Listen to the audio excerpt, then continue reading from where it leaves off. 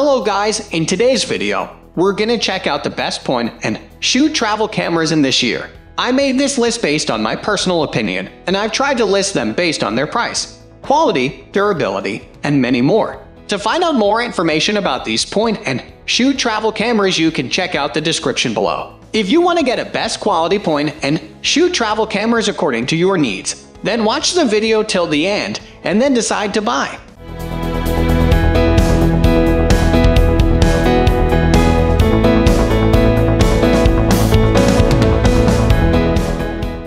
At the first position of our list, we have Canon PowerShot ELPH 180/Ixus 185. The Canon Ixus range of simple little point and shoot cameras has been going steady for years. The cameras have a rep for being reliable and affordable, and the Canon Ixus 185/ELPH 180 is very much that.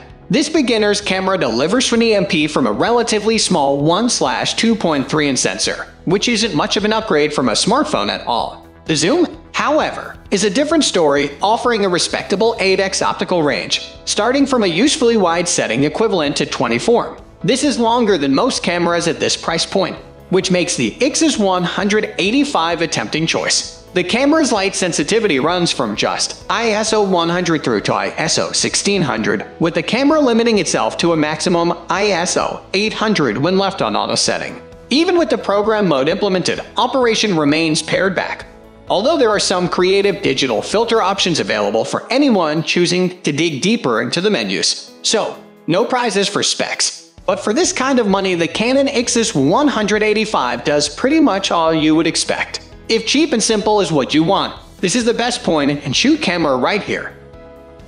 Moving on to the next at number 2 with Sony CyberShot DSC-800. The Sony W800 is another handy little point and shoot that puts itself just about far enough ahead of a smartphone to be worthy of consideration. Once again, the lens is the star of the show here, a 26 103rd mm 3.26.4 model that gives you a decent amount of shooting flexibility. It's not got much in the way of burst shooting, but provided you aren't going after fast-moving subjects, the W800 will get the job done. It's ridiculously affordable too, consistently cheaper than the Canon Ixus 185. The number 3 position is held by Olympus Tough TG6 waterproof camera. If you want a camera that does what it says on the tin, the Olympus Tough TG6 is exactly what you need. It might have a small 1/2.3 inch sensor, but all things considered, it produces good image quality and it can shoot in 4K video. It has a 25-100 with an aperture of f/2 at the wide end and f/4.9 when it's at its maximum zoom. It includes lots of interesting features that really come to life when shooting in clear water such as macro and microscope modes, which allow you to get up close and personal. The ability to capture RAW stills and shoot at up to 20 also make this camera a very good choice. The best thing of all is that it can really take a bashing making it perfect for families with little ones. It's a superb travel camera that benefits from excellent waterproofing perfect for the more adventurous or clumsy type. Next at number 4, we have Fujifilm FinePix XP140 waterproof digital camera. The Fujifilm FinePix XP140 can pretty much handle anything you throw at it. Whether you're taking it 25 m underwater, accidentally drop it from heights of 1.8 m or want to use it in sub-freezing temperatures, this is a camera that won't let you down. Not only has it got a really tough build, it also delivers high quality images no matter what the lighting conditions. It can shoot UHD 4K, and it's really easy to operate. Even someone who isn't particularly tech savvy could capture some really nice images. One of the downsides is you can't shoot in RAW, and there isn't a manual mode so if you're a bit more of a serious photographer it may not be the camera for you. Check out the Olympus TG6 instead. However, if you just want a camera that you won't break, won't get water damage, and can take some pretty pictures, the Fujifilm XP140 is ideal. The number 5 position is held by Panasonic Lumix ZS70-TZ90. Remember when we said we wouldn't be biased against older cameras? Well, this is the perfect example of why we still think they're great. Released in 2017, the Panasonic ZS70-TZ90 still has one of the best zoom lenses available, part of Panasonic's long-running ZS range. TZ in the UK, these feature stuffed point and shoots are ideal cameras for traveling with. It's Wi-Fi ready so you can transfer images on the go. has an impressive 30x zoom, 24-720 full frame equivalent, and has the option of shooting in RAW. Unlike other point and shoots, it has an electronic viewfinder, albeit a small one, but it's nice to have the option to use one. It has a 49-point autofocus system which is speedy enough, image quality is pretty good, and its metering system helps to balance exposure in a variety of scenes. The ZS70 is without a doubt one of the best point and shoot systems for balancing versatility and portability with a low price point. There are newer versions in the ZS70 range but for the price. We think the ZS70 is pretty unbeatable. You may also want to consider the Panasonic Lumix ZS200-TZ200 which has a bigger 1-inch sensor but only has a 15 zoom. It all depends on whether you want better low-light capabilities or be able to zoom in more. We still think the ZS70 has the edge which is why we have included it in the list. The number 6 position is dominated by Canon PowerShot SX740HS. If you're after a camera with incredible zoom capabilities, look no further than the Canon PowerShot SX740HS with a focal range equivalent to 24-960 on a full-frame camera. It has a 20.3 MP 1/2.3 inch sensor and an LCD screen that can be flipped to face the front making it perfect for selfies. For anyone looking to shoot video too, it can film in 4K and has a max continuous burst shooting mode of 10th. The Canon Power Shot SX730HS can be found slightly cheaper if you don't need 4K video. Image quality and autofocus performance on this camera is pretty good, and overall it's an excellent camera for the price. Moving on to the next at number 7 with Panasonic Lumix LX15 slash LX10. If you want a point and shoot camera that also delivers a visible jump up in picture quality from a camera phone, you need one with a larger sensor.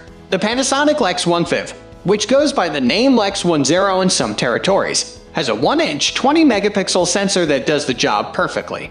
It's true that there is no built-in EVF, which might put some people off, and the smooth finish to the body might make it look stylish, but doesn't make for the firmest hand grip. But the responsive touchscreen is terrific. The dual control rings provide a very pleasing user experience, and the 24-70 Zoom has one of the widest aperture settings around, courtesy of its f/1.4 to f/2.8 aperture range. Overall, this neat little snapper has the near-perfect balance of features, performance, and pricing. It's small enough for your pocket, easy for beginners, but powerful enough to be one of the best point and shoot cameras for serious photographers. The number 8 position is held by Canon PowerShot 9X Mark Roman II. The Canon PowerShot 9 X Mark Roman II is a rather sophisticated looking point and shoot camera. Courtesy of its rather minimalist yet traditional appearance and streamlined controls, which have the benefit of keeping the body endearingly dinky. Despite this, it's something of a beast under the bonnet, with a 1-inch sensor paired with a wide-angle 28-80 form equivalent lens, whose maximum aperture at wide angle is a respectable f/2. There's no viewfinder, but the 3-in LCD on the rear also responds to touch, which again ensures that physical controls can be kept to a minimum. To sum up, this is a neat-looking, well-spec'd point-and-shoot compact camera that can produce vastly superior images to a camera phone and it's rather nice to look at use.